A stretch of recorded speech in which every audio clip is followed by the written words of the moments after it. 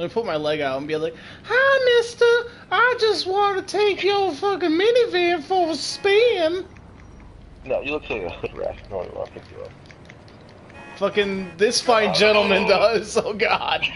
you did not stop. I don't give a shit. I'm gonna boot you out of your fucking car.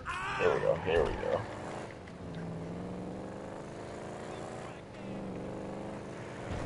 Get it quick. Oh, you got a car. I'll go with you. I'll Follow you. me. I'm following. You got a shit car. I got a great car. Just letting you know about that.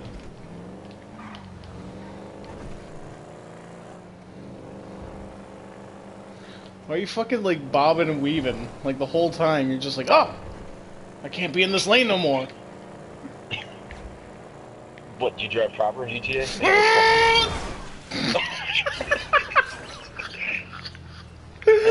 Scared, that's no shortcut. Oh god, I, I'm sorry that I got the killer inside of me.